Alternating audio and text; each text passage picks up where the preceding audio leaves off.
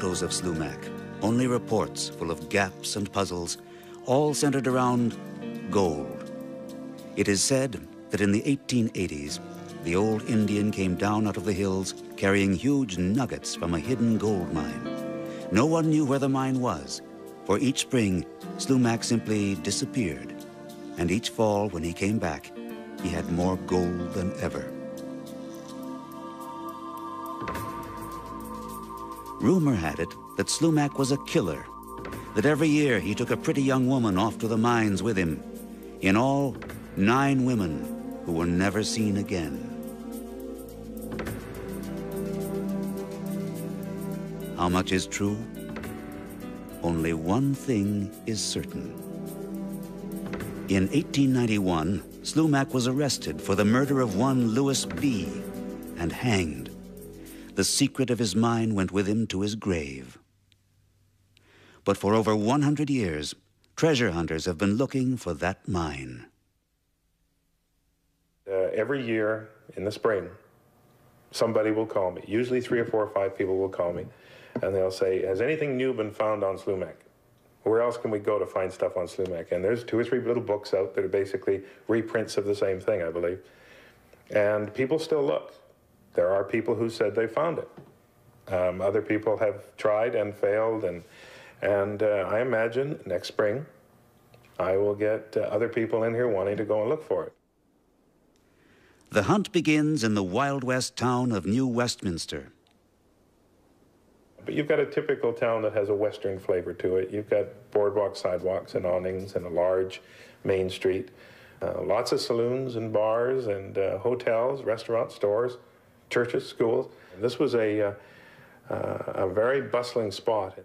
And Slumac became known for the fact that he would disappear and then come back into town. And, and you can imagine that people in town would know when this character was back, that uh, he was back in town, and it would probably buzz through the city pretty quick. You know, pretty pretty quick. You know, Slumac is is uh, in such and such a store, um, and uh, he's got another bag. So. Today, nothing is left of the town of New Westminster. It has long since been swallowed up by Vancouver, a modern metropolis, an urban industrial center which looks forward to the future, not back to the past.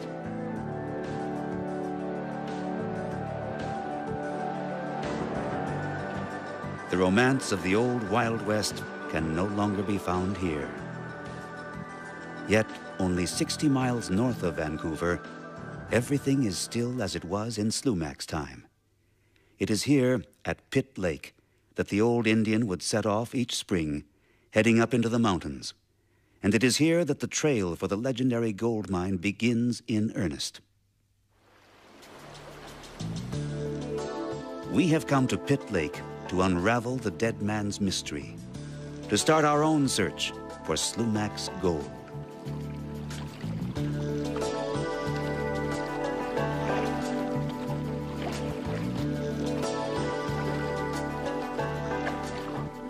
Here in the woods and waterways at the foot of the Canadian glaciers, we travel through a timeless world, a world almost exactly as Slumac would have seen it. Our guide is Peter Velners. For years, he's been following Slumac's trail and piecing together his story.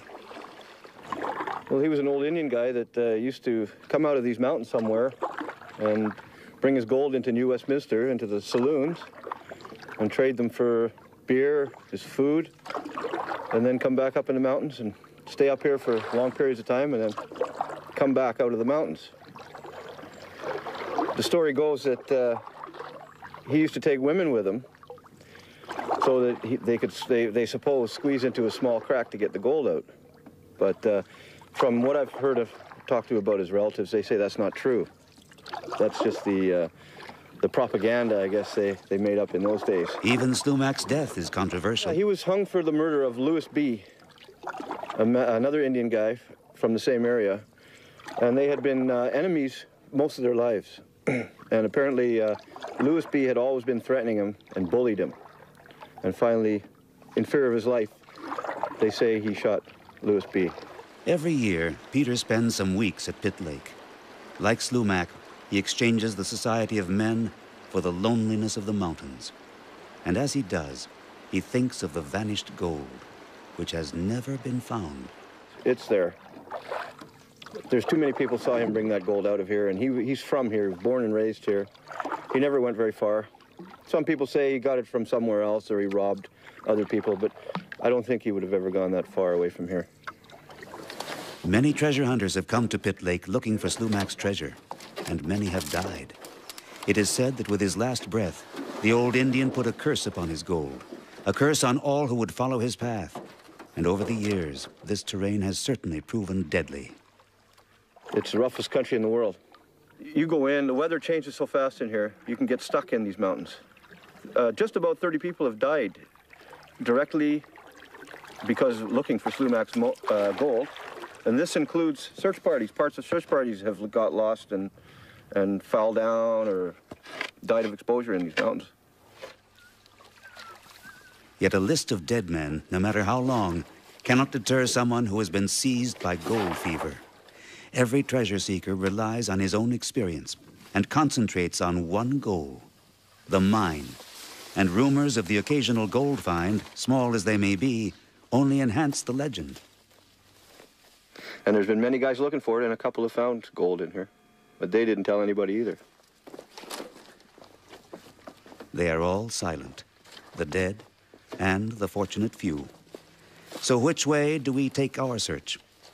Peter has set up his tent along the Pitt River. Perhaps this time we'll be lucky. The camp is comfortable, the weather fantastic. August weather, sunshine, blue skies, no wind. A good time to set off on Slumac's trail. It is a journey for which there is no strategy. Peter follows his instincts and the few clues that Slumac left behind.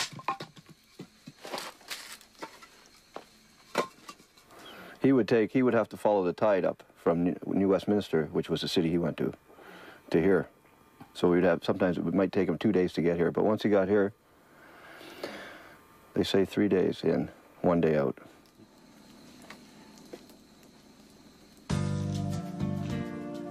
The next morning, we set off on our journey.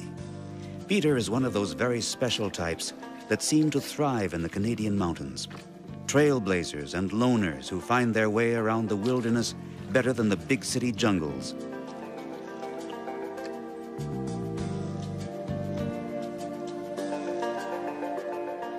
For the past 20 years, Peter has been spending the summer in these Pitt Lake Mountains, always in the shadow of Slumac's legend.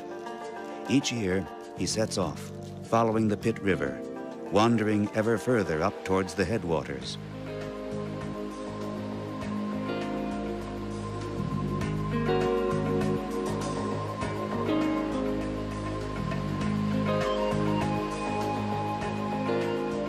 It is not a journey to be taken lightly.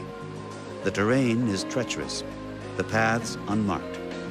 There is no one to turn to here for aid.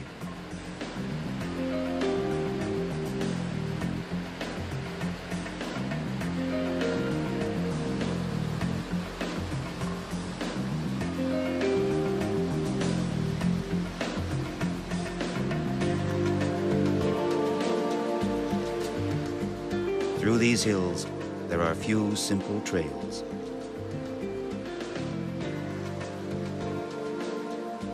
But each new path brings a new adventure, new discoveries to be made.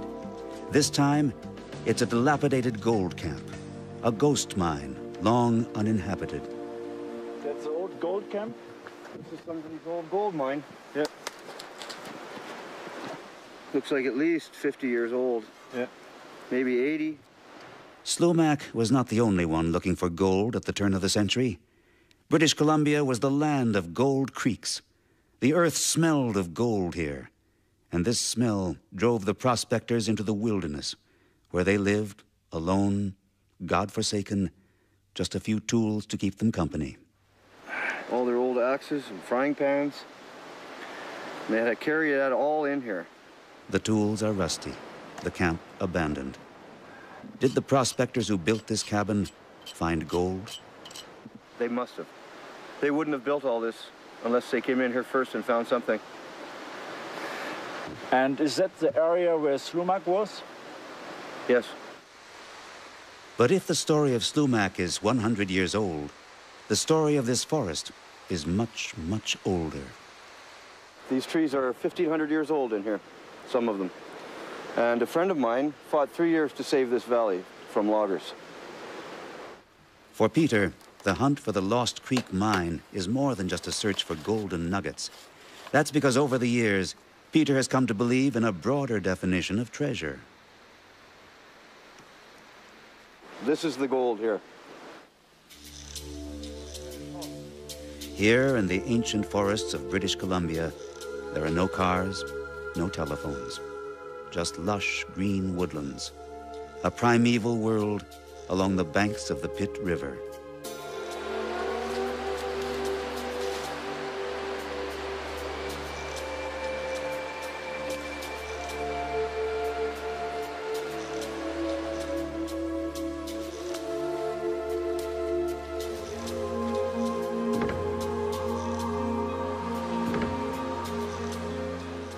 On Slumac's trail, the reward lies not just at the end of the journey, but every step of the way.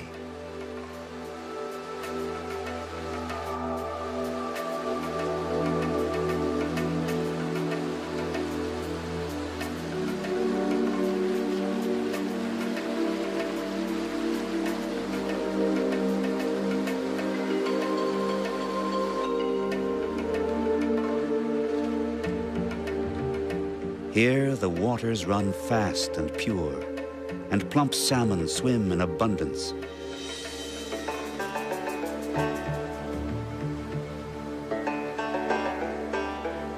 For Peter, the true wealth of the forest lies not in gold, but in freedom.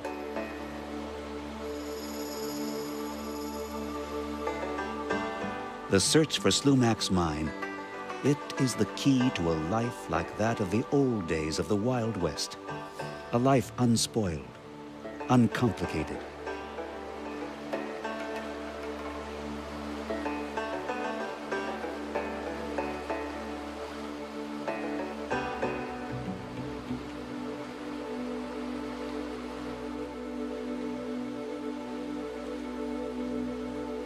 The people who live in the forests of the Pitt Lake Mountains love the solitude.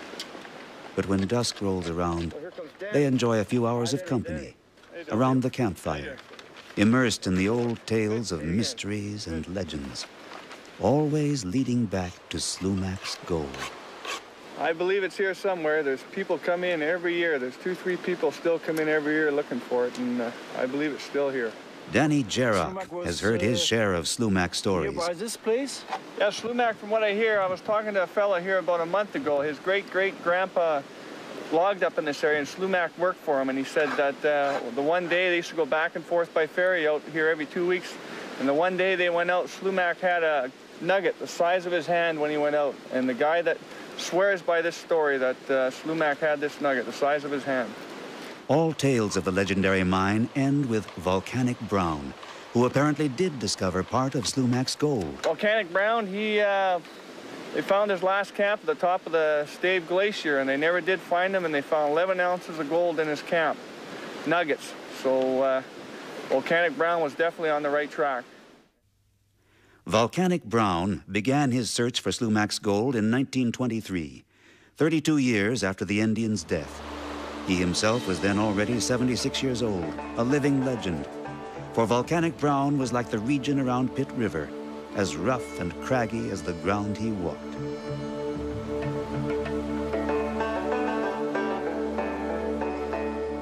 Brown was a pioneer in a land of pioneers, a jack of all trades who never stopped dreaming.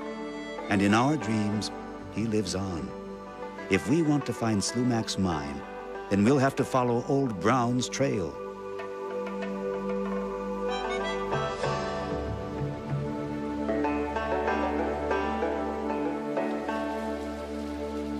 The next day takes us higher and higher along the banks of the Pitt River to an old hot spring where Slumac and Brown were said to have warmed themselves.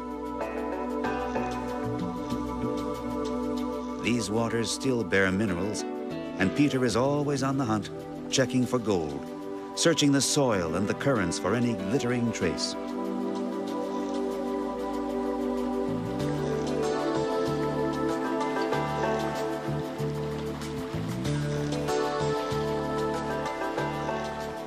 Maybe he'll strike it lucky, like Volcanic Brown, who challenged fate even as an old man and really did discover gold. But three days into our journey, we are still far away from the glaciers where old Brown set up his gold camp. That valley there, those ridges, that's where Volcanic Brown was looking for his gold. It's hard to understand how old Brown could have walked to the glacier for Peter, it's clear that we'll need some help. Well, the best way to get into these mountains and look around is with a helicopter.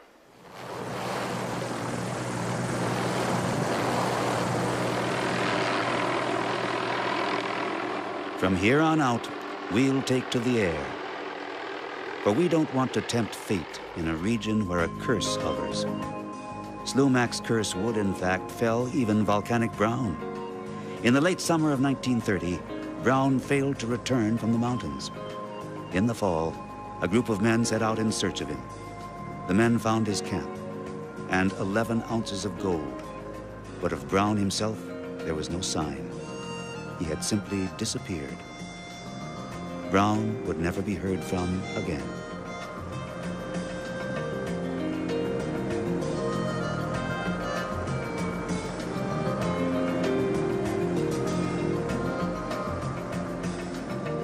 what willpower men like Slumac and Volcanic Brown needed to set off into such a fierce and hazardous world, an untamed realm of wild animals and barren peaks.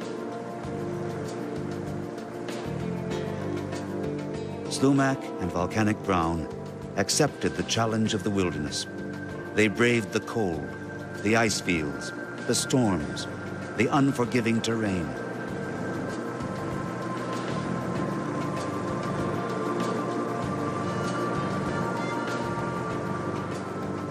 They were loners, hard men in a hard land, taking on the unpredictable moods of nature. And they were rewarded with the greatest treasure the earth has to offer, gold.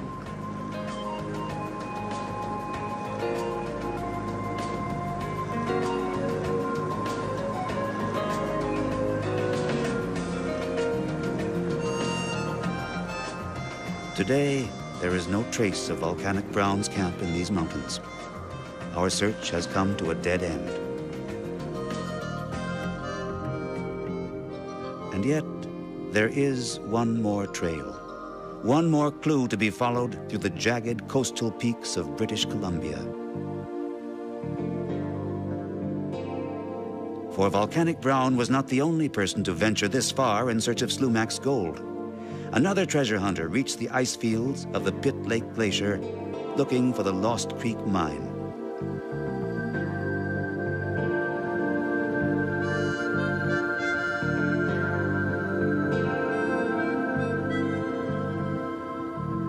His name was W. Jackson, and he left behind a written record. In 1901, the American Jackson was one of the first to set out on Slumac's trail. He too was smitten by the curse. But in the weeks before he died, he wrote back, claiming he had discovered Slumac's mine. I came to a place where the bedrock was bare, and there the bedrock was yellow with gold. Many treasure hunters carry copies of this letter with them, and experts claim that it's genuine. Uh, the original letter was date stamped from a government office, and that date stamp I examined very closely. I know who found it, and uh, the letter is interesting, and it's probably the key to it. Uh, it uses certain phrases that were only used in the 1880s and 1890s, such as light out and O with an O, which is an American phrase. So um, the original letter is genuine. Uh, there is a, an area there, there was some three words left out. We think it's uh, a blind canyon. Uh, there's no doubt that, uh, that Slumac had something to do with it. Um, I'm not sure. It has been called the Slumac treasure. I think that uh, Shotwell or one of the others did find it. I don't think there's any doubt about it. He makes uh, he makes certain comments about the Bank of British North America in San Francisco, and he calls San Francisco SF, which was usual with the Americans. So um, when you look at that letter and go over it very, very carefully, it's not like other letters that sometimes are genuine and sometimes are not genuine. This is a genuine letter. And the terminology makes it genuine, and the date stamp makes it more genuine. Bill Barley is himself a treasure hunter of the old school. Since his childhood, he has been roaming through the ghost towns of British Columbia in search of traces from the past.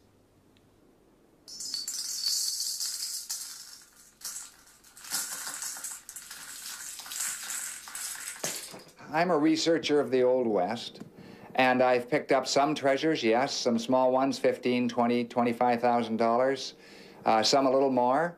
I missed one that was uh, would now be worth about three million because I was a little careless, and I was the only one of the other, the only other one to know about it. And uh, I waited too long. I waited six months. I should have gone in uh, six minutes. I didn't. And when I was a kid, I walked through the ghost towns and when I walked through those ghost towns, the thing I remember very, very vividly was walking up the boardwalks, which were still there, looking in the windows of the stores, and everything was still inside. The pitcher and basin, and the, the one-armed bandits, and the, uh, and the roll-top desks, and there was dust inside and cobwebs coming down. They'd simply walked away from those towns. They'd simply walked away. And that stayed with me ever since I was a kid of about eight or nine years old. And there were a number of those towns all through that mining country. Because the towns only lasted as long as the gold or silver lasted. Once that was gone, they were gone. The search for Slumac's lost gold mine is also a view through a window into another era, an era which captivates us still. In our journey through the wilderness, we have sensed the legacy of the past.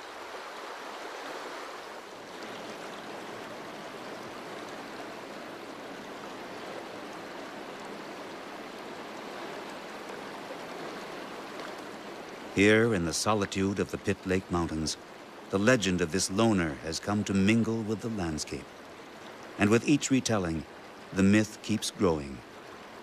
There are a number of, of, of extra stories. The, this is more than just one man and a, and a little story about his gold. I mean, this thing, this thing really goes. Most people who deal with it simply look at the fact that he did kill someone. And there are comments that I have read and other people doing research that was more than one person. Um, I think that it's it, it grows with the legend, but it all comes back to this thing that there, the legend grows, but there was this man. He did something bad. He paid the penalty, and he was finding gold. In the moment of his death, Slumac took his revenge with the scariest weapon of the Old West, the curse he placed on all the treasure seekers who would follow him. And there were many who did, Jackson and Brown and all the others who wandered through the storms of the Pitt Lake glaciers. Yet, is Slumac's curse not the curse of all treasure hunters? The irresistible lure of hidden gold? Always looking for the gold. I believe it's here somewhere. There's people come in every year. There's two, three people still come in every year looking for it, and uh, I believe it's still here. No, I think it does exist, and uh, maybe it wasn't as big as everybody thought. Maybe it is, and we just haven't found it yet. Yeah, I think that the Slumac uh, treasure does exist. It's there.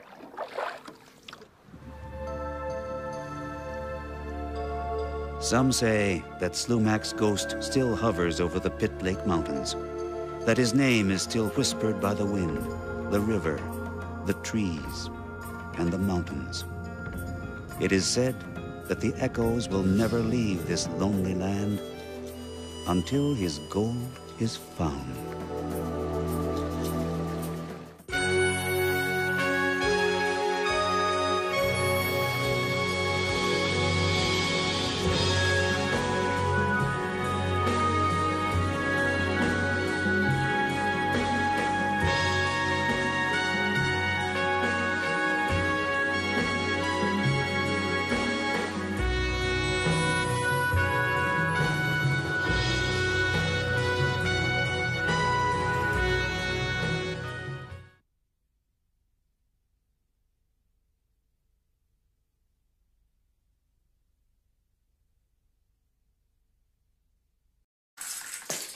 I'm a researcher of the Old West, and I've picked up some treasures, yes, some small ones, 15, 20, 25,000 dollars, uh, some a little more. I missed one that was uh, would now be worth about three million because I was a little careless, and I was the only one of the other, the only other one to know about it. And uh, I waited too long. I waited six months. I should have gone in uh, six minutes. I didn't. And when I was a kid, I walked through the ghost towns. And when I walked through those ghost towns, the thing I remember very, very vividly was walking up the boardwalks, which were still there, looking in the windows of the stores, and everything was still inside the pitcher and basin and the, the one-armed bandits and the, uh, and the roll-top desks, and there was dust inside and cobwebs coming down. They'd simply walked away from those towns. They'd simply walked away. And that stayed with me ever since I was a kid of about eight or nine years old. And there were a number of those towns all through that mining country. Because the towns only lasted as long as the gold or silver lasted. Once that was gone, they were gone. The search for Slumac's lost gold mine is also a view through a window into another era, an era which captivates us still. In our journey through the wilderness, we have sensed the legacy of the past.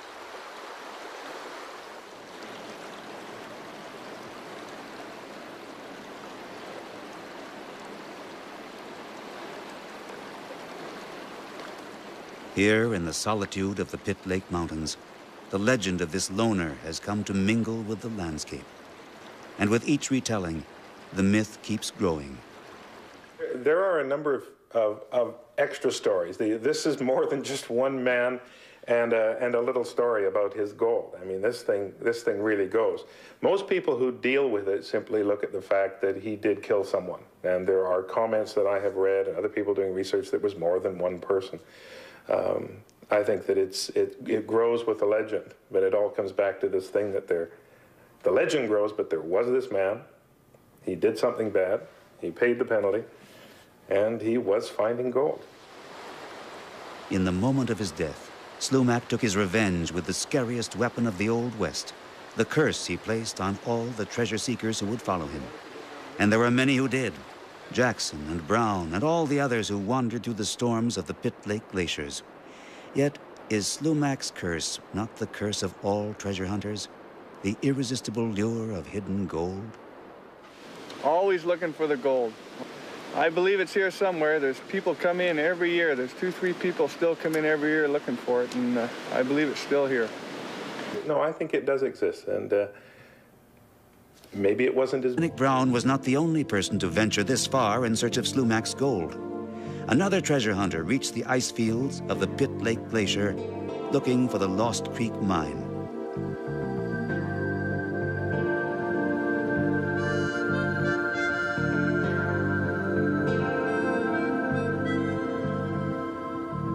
His name was W. Jackson, and he left behind a written record. In 1901, the American Jackson was one of the first to set out on Slumac's trail. He too was smitten by the curse. But in the weeks before he died, he wrote back, claiming he had discovered Slumac's mine. I came to a place where the bedrock was bare, and there the bedrock was yellow with gold.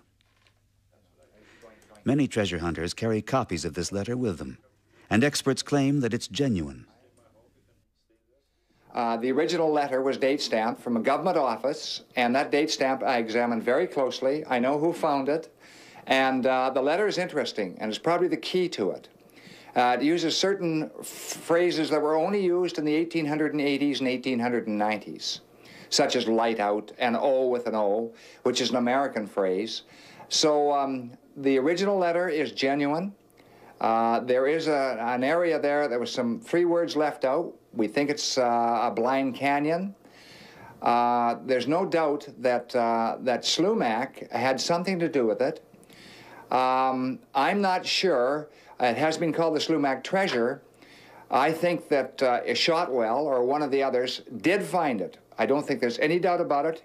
He makes uh, he makes certain comments about the Bank of British North America in San Francisco, and he calls San Francisco SF, which was usual with the Americans. So um, when you look at that letter and go over it very, very carefully, it's not like other letters that sometimes are genuine and sometimes are not genuine. This is a genuine letter.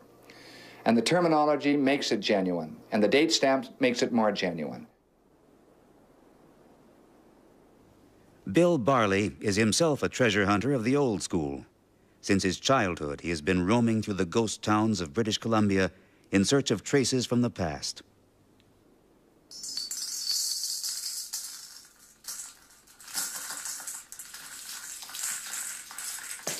I'm a researcher of the Old West, and I've picked up some treasures, yes, some small ones, 15, 20, 25,000 dollars, uh, some a little more. I missed one that was uh, would now be worth about three million because I was a little careless, and I was the only one of the other, the only other one to know about it. And uh, I waited too long. I waited six months. I should have gone in uh, six minutes. It's hard to understand how old Brown could have walked to the glacier. For Peter, it's clear that we'll need some help. Well, the best way to get into these mountains and look around is with a helicopter.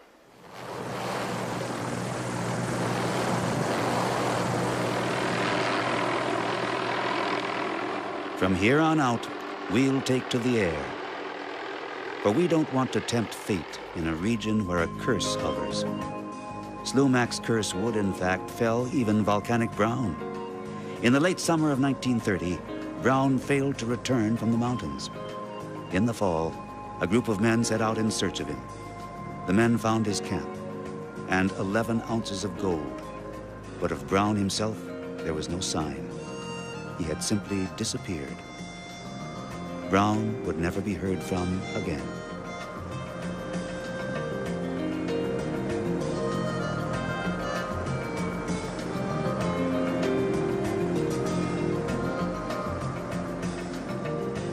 Willpower men like Slumach and Volcanic Brown needed to set off into such a fierce and hazardous world, an untamed realm of wild animals and barren peaks. Slumach and Volcanic Brown accepted the challenge of the wilderness. They braved the cold, the ice fields, the storms, the unforgiving terrain.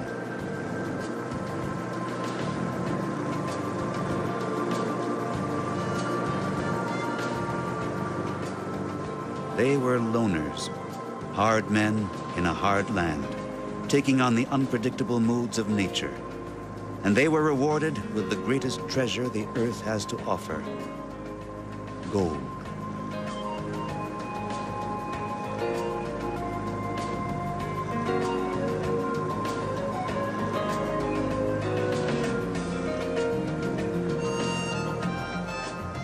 Today, there is no trace of Volcanic Brown's camp in these mountains.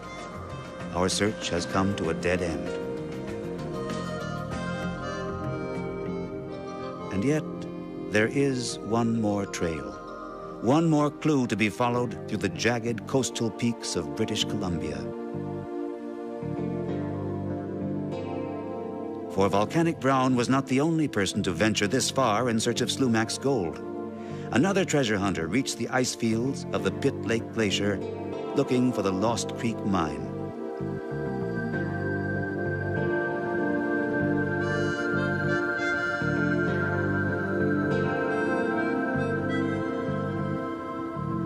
His name was W. Jackson, and he left behind a written record. And rumors of the occasional gold find, small as they may be, only enhance the legend. And there's been many guys looking for it, and a couple have found gold in here. But they didn't tell anybody either. They are all silent, the dead and the fortunate few. So which way do we take our search? Peter has set up his tent along the Pitt River. Perhaps this time we'll be lucky. The camp is comfortable, the weather fantastic. August weather, sunshine, blue skies, no wind. A good time to set off on Slumach's trail. It is a journey for which there is no strategy. Peter follows his instincts and the few clues that Slumach left behind. He would take, he would have to follow the tide up from New, Westminster, which was the city he went to, to here. So we'd have, sometimes it might take him two days to get here, but once he got here, They say three days in, one day out.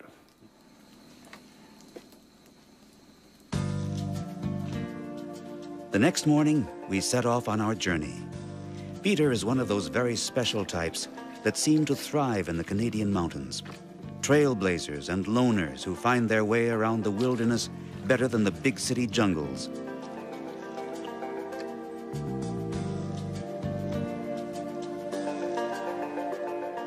For the past 20 years, Peter has been spending the summer in these Pitt Lake Mountains, always in the shadow of Slumach's legend. Each year, he sets off, following the Pitt River, wandering ever further up towards the headwaters.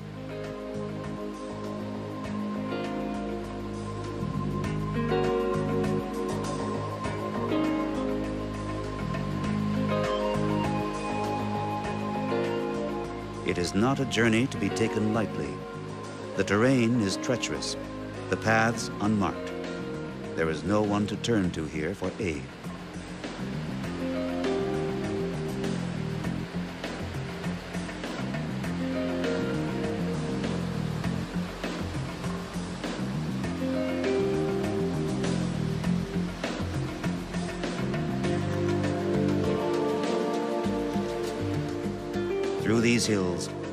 Few simple trails.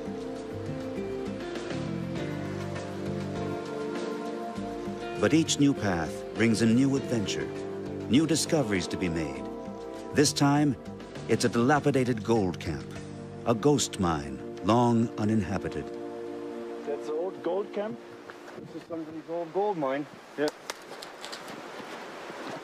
Looks like at least 50 years old. Yeah. Maybe 80. Slumach was not the only. These waters still bear minerals, and Peter is always on the hunt, checking for gold, searching the soil and the currents for any glittering trace.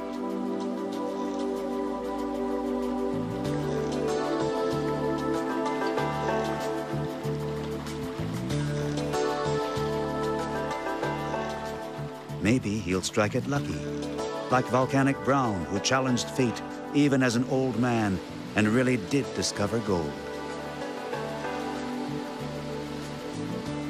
But three days into our journey, we are still far away from the glaciers where old Brown set up his gold camp.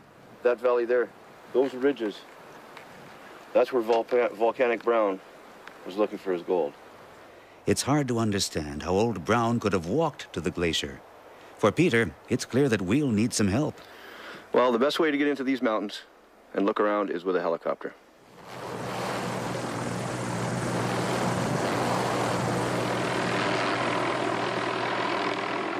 From here on out, we'll take to the air. For we don't want to tempt fate in a region where a curse hovers. Slumach's curse would, in fact, fell even Volcanic Brown. In the late summer of 1930, Brown failed to return from the mountains. In the fall, a group of men set out in search of him. The men found his camp and 11 ounces of gold. But of Brown himself, there was no sign. He had simply disappeared. Brown would never be heard from again.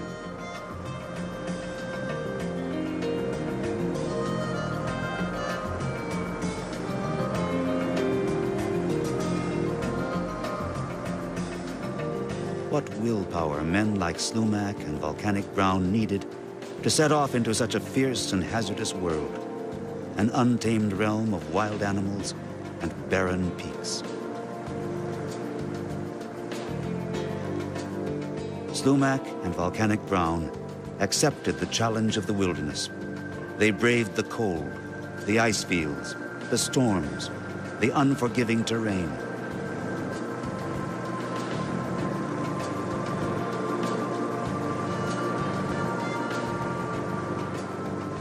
They were loners, hard men in a hard land, taking on the unpredictable moods of nature.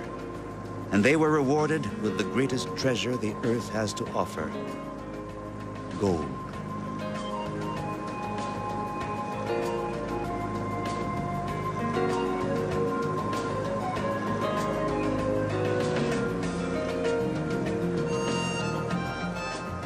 Today, there is no trace of Volcanic Brown's camp in these mountains.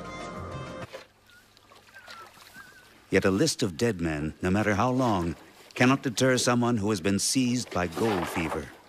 Every treasure seeker relies on his own experience and concentrates on one goal the mine. And rumors of the occasional gold find, small as they may be, only enhance the legend. And there's been many guys looking for it, and a couple have found gold in here. But they didn't tell anybody either. They are all silent, the dead and the fortunate few. So which way do we take our search? Peter has set up his tent along the Pitt River.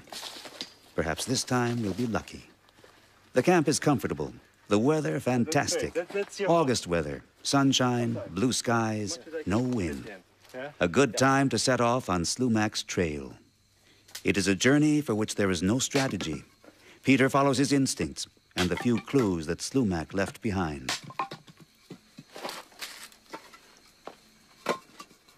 He would take, he would have to follow the tide up from New, Westminster, which was the city he went to, to here.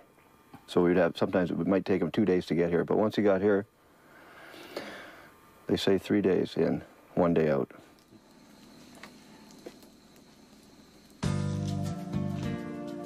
The next morning, we set off on our journey.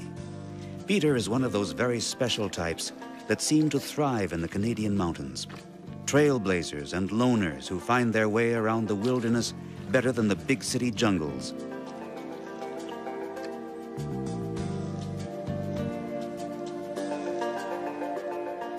For the past 20 years, Peter has been spending the summer in these Pitt Lake Mountains, always in the shadow of Slumach's legend.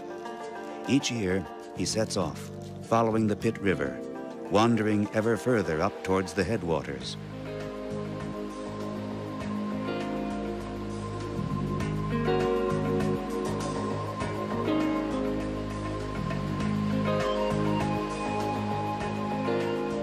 It is not a journey to be taken lightly. The terrain is treacherous, the paths unmarked. There is no one to turn to here for aid.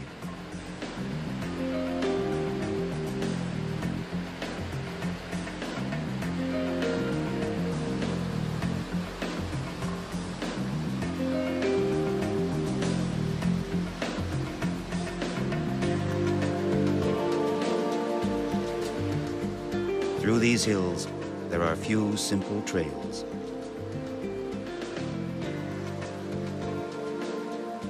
But each new path brings a new adventure, new discoveries to be made. This time, it's a dilapidated gold camp, a gold.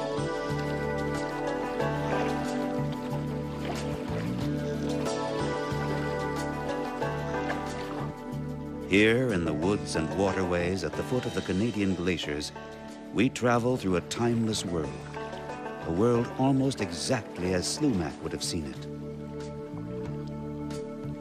Our guide is Peter Vellners.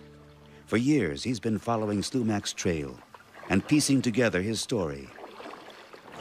Well, he was an old Indian guy that uh, used to come out of these mountains somewhere and bring his gold into New Westminster, into the saloons, and trade them for beer, his food, and then come back up in the mountains and stay up here for long periods of time and then come back out of the mountains.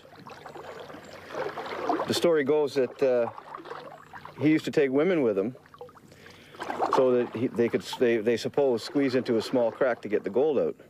But uh, from what I've heard of, talked to about his relatives, they say that's not true. That's just the, uh, the propaganda, I guess, they, they made up in those days. Even Slumach's death is controversial. Uh, he was hung for the murder of Louis B., another Indian guy from the same area. And they had been uh, enemies most of their lives. and apparently, uh, Louis B. had always been threatening him and bullied him. And finally, in fear of his life, they say he shot Louis B. Every year, Peter spends some weeks at Pitt Lake.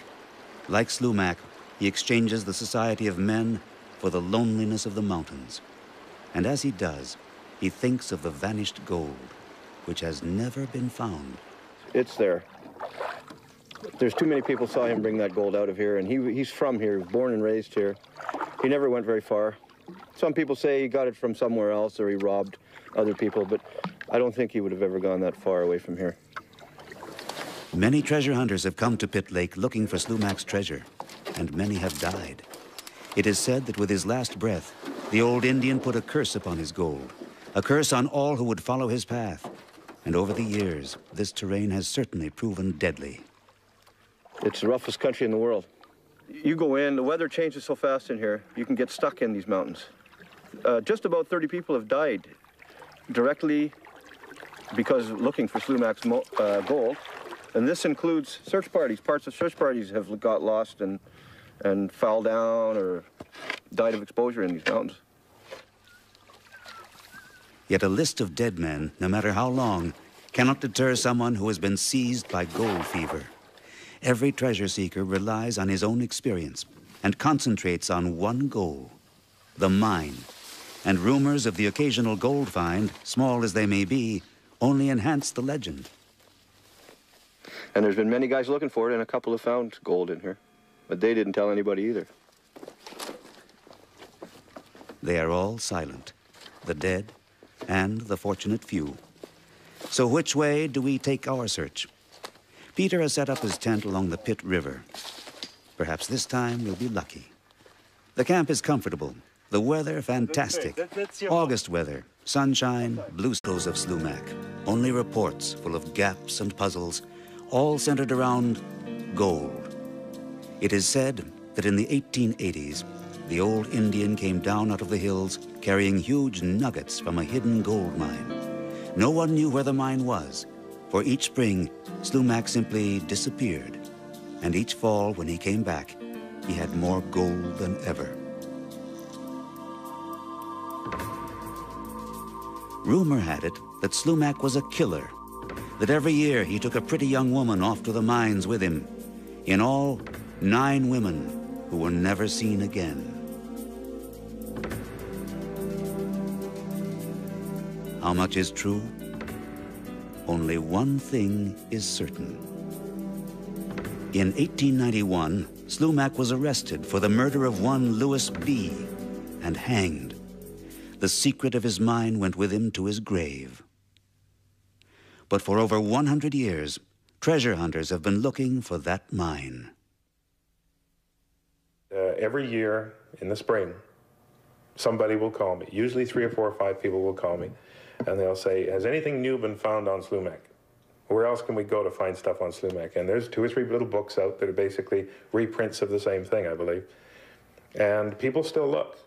There are people who said they found it.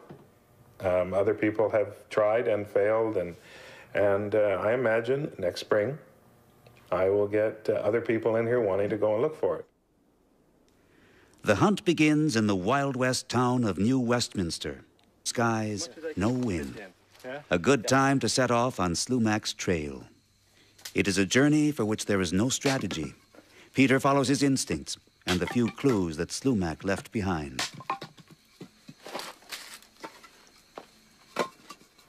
he would take, he would have to follow the tide up from New Westminster, which was the city he went to, to here. So we'd have, sometimes it might take him two days to get here, but once he got here, they say three days in, one day out.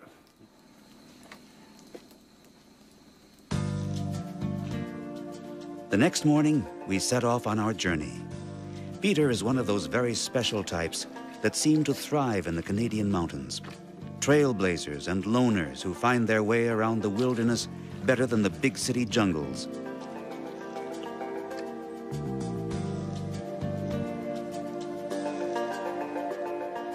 For the past 20 years, Peter has been spending the summer in these Pitt Lake Mountains, always in the shadow of Slumach's legend.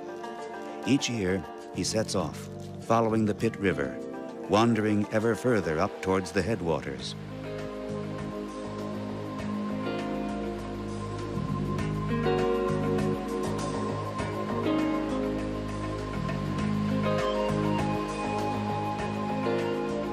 It is not a journey to be taken lightly. The terrain is treacherous, the paths unmarked. There is no one to turn to here for aid.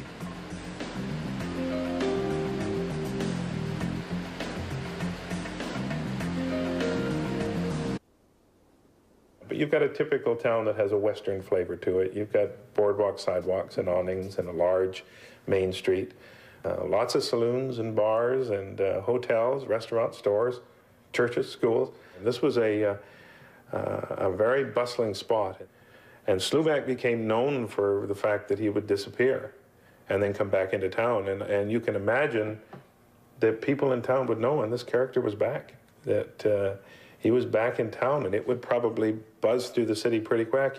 You know, pretty pretty quick. You know, Slumach is is uh, in such and such a store, um, and uh, he's got another bag. So. Today, nothing is left of the town of New Westminster. It has long since been swallowed up by Vancouver, a modern metropolis, an urban industrial center which looks forward to the future, not back to the past.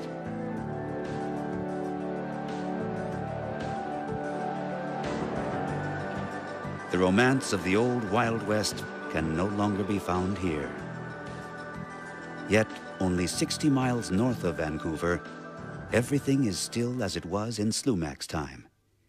It is here, at Pitt Lake, that the old Indian would set off each spring, heading up into the mountains. And it is here that the trail for the legendary gold mine begins in earnest. We have come to Pitt Lake to unravel the dead man's mystery, to start our own search for Slumach's gold.